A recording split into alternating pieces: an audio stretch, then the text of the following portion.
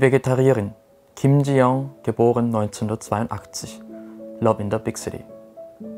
In den letzten Jahren wurden immer mehr koreanische literarische Werke in Deutschland übersetzt und veröffentlicht. Dies spiegelt die Tatsache wider, dass nach dem K-Pop auch die koreanische Kultur im Allgemeinen und vor allem die koreanische Literatur ins Blickfeld des Interesses rücken. Hinter der wachsenden Popularität der koreanischen Literatur steckt der unermüdliche Einsatz der Übersetzer. Es gibt viele aktive deutsch-koreanische Übersetzer und wir haben darunter einen jungen Vertreter zum Interview eingeladen, der davon träumt, ein Literaturübersetzer der nächsten Generation zu werden. In der siebten Folge Neue Welle spricht Philipp Windischmann mit uns darüber, wie er sich in die koreanische Literatur verliebt hat und über den neuen Trend K-Literatur, die sich mittlerweile als wichtige Säule der koreanischen Welle Hallyu etabliert hat. Philipp Windischmann hat an der Universität Tübingen seinen Bachelor und Master in Koreanistik gemacht und ein besonders großes Interesse an koreanischer Literatur. Sein Traum ist es, in Zukunft als Übersetzer die koreanische Literatur in Deutschland stärker bekannt zu machen. Seit letztem Jahr belegen Sie einen regulären Kurs an der Übersetzungsakademie des Literature Translation Institute of Korea, LTI. Wie kam es zu dem Interesse an der koreanischen Literatur, vor allen Dingen an der Übersetzung koreanischer Literatur? Das hat sich dann, denke ich, ganz natürlich ergeben ähm, aus meinem Interesse an Korea allgemein. Ähm, auf der einen Seite wollte ich mehr lernen über Korea. Ich habe ja meinen Bachelor, meinen Master in Koreanistik gemacht und habe dann vor allem im Master auch schon viel äh, übersetzen können äh, im Kurs. Ähm, und da haben wir dann zum Beispiel auch koreanische Autoren in, zu Lesungen nach Deutschland einladen können, Sonbumi und auch einmal Hangang. Und da haben wir dann ähm, Lesungen veranstaltet, Workshops und da konnte ich auch als Dolmetscher ähm, dabei sein. Und das sind Sachen, die mich dann auch ja, so beeinflusst haben, beeindruckt haben. Und ähm, von dort aus wollte ich dann weiter Koreanisch lernen, einmal wegen dem akademischen Interesse und dann eben auch, weil ich eine tiefere Verbindung vielleicht noch mit Korea aufbauen wollte, dass ich das Land, was ich jetzt ja, lieben gelernt habe, in diesem Land äh, weiter aktiv sein möchte. Und da hat sich für mich koreanische Literatur angeboten, weil man durch die Literatur, finde ich, so viel lernen kann, auch über das Land. Und ähm, dann war die Entscheidung klar, ich bewerbe mich beim äh, LTI, beim Übersetzungsinstitut, ähm, weil sich da halt auch einfach die Möglichkeit bietet, dann nochmal längere Zeit in Korea zu sein, weiter zu lernen, sich viel mit koreanischer Literatur zu beschäftigen. Ja.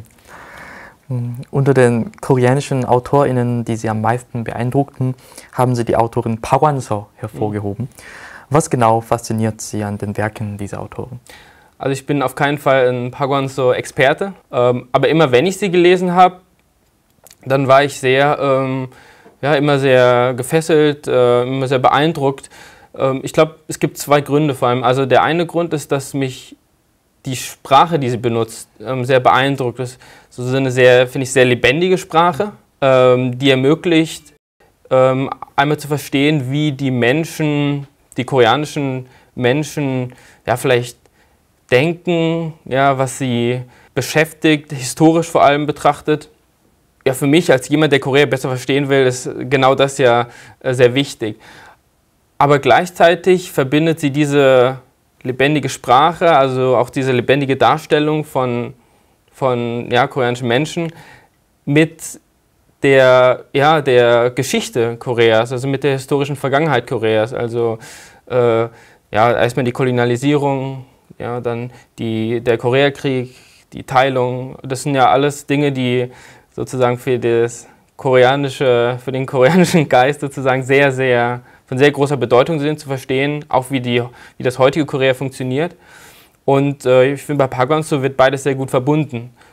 Also die Frage zum Beispiel, wie haben alle diese historischen Ereignisse ähm, die Koreaner, die Art, wie sie denken, die, was, sie, was sie wertschätzen, äh, was sie auch historisch belastet, wie haben alle die, diese Dinge sie beeinflusst ähm, das sind halt genau diese Dinge, also wie die Kolonialisierung und der Koreakrieg und die Teilung von ganz großer Bedeutung. Und Park so zeigt das halt sehr, sehr gut, finde ich, auch wie diese Dinge die Menschen beeinflusst haben. Und das, ja, das ist ein ganz entscheidender Grund, warum ich dann ähm, ihre Werke auch, glaube ich, so toll finde. Gibt es weitere koreanische AutorInnen, deren Arbeiten Sie besonders aufmerksam verfolgen? Ähm, es gibt jetzt nicht so bestimmte, von denen ich sage, dass ich ähm, sie ganz intensiv verfolge, weil es einfach, finde ich, so viele junge Autoren und vor allem auch Autorinnen gibt äh, in Korea, die gerade interessante Sachen machen. Also man kommt gar nicht so wirklich hinterher, was man sich anschauen soll. Und, ähm, und äh, ja, und die unterscheiden sich halt auch alle sehr stark voneinander. Ja, die Genres sind auch sehr unterschiedlich. Es gibt solche, die vor allem sehr realistische Literatur schreiben, mh, dann auch solche, die vielleicht Fantasy oder ähm, Science Fiction und Horror machen. Also es gibt sehr viel gute Genre-Literatur auch momentan in Korea. Ja, und da fallen mir so ganz spontan so Namen ein wie äh, Kim Toyop, die vor allem Science-Fiction-Literatur macht, aber das auch verbindet mit Fragen ähm, der Umwelt, also Umweltschutz auch. Ähm, dann Autoren wie Kim Meller, die auch ja, Fragen der Sexualität äh, bearbeitet, oder Pang Minjong und dann noch viele andere, ähm, ja, die ich jetzt gar nicht alle nennen kann, aber also da gibt es wirklich sehr viel und da bin ich wirklich gespannt, was da in Zukunft noch so kommt, weil äh, diese Szene ist sehr, sehr aktiv und ähm, ja, wer weiß, wer da sich noch alles so herausbildet in Zukunft. Was macht Ihrer Meinung nach den besonderen Reiz der koreanischen Literatur aus?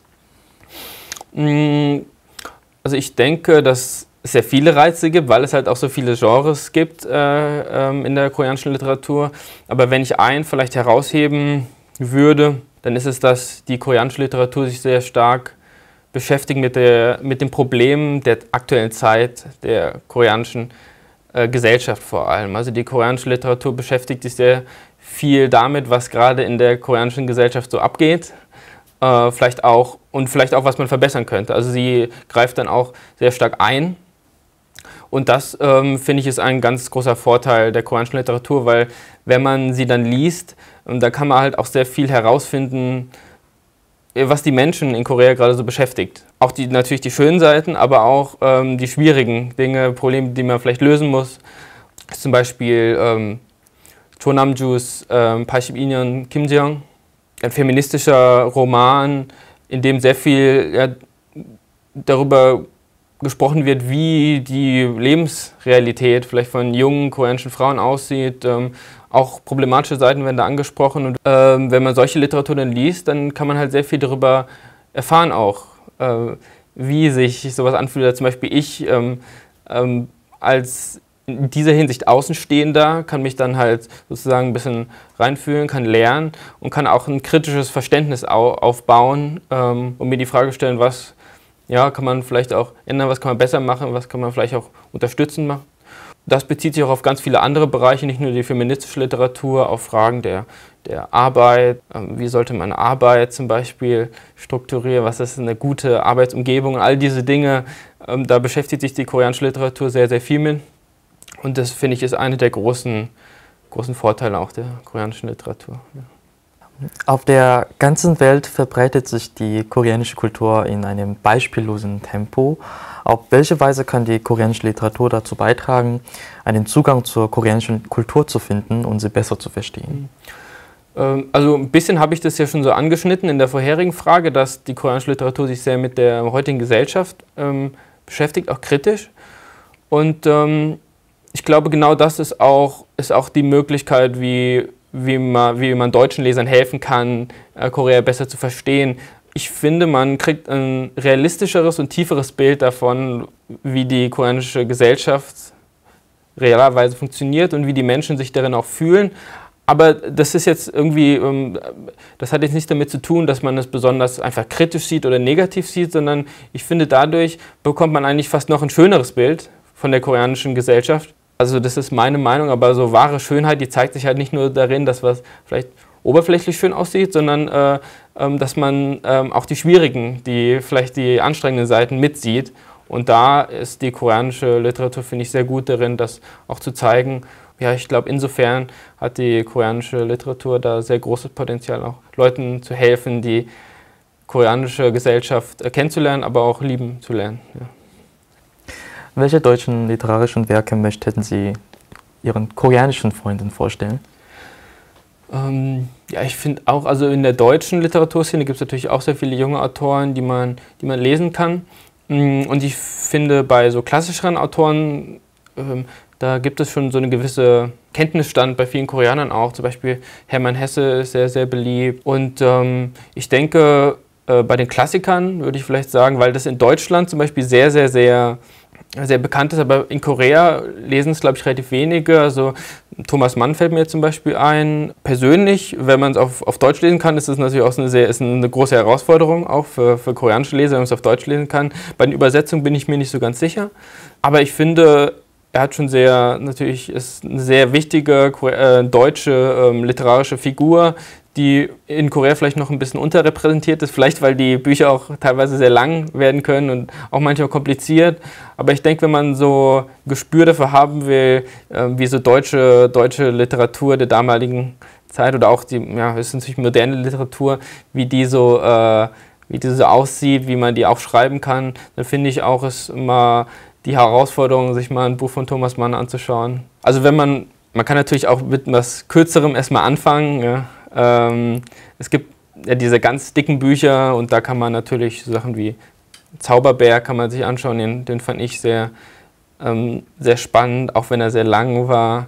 Aber dann auch so kurze Dinge, Tonio Kröger zum Beispiel, ähm, da kann man sich mal dann vielleicht einlesen und schauen, ob es einem wirklich gefällt, bevor man die ganz äh, dicken Bücher anschaut. Ja. Ich möchte jetzt noch eine kurze Übersetzung, einen Teil einer Übersetzung ähm, vortragen von einer koreanischen Kurzgeschichte von Kang Kyung-e.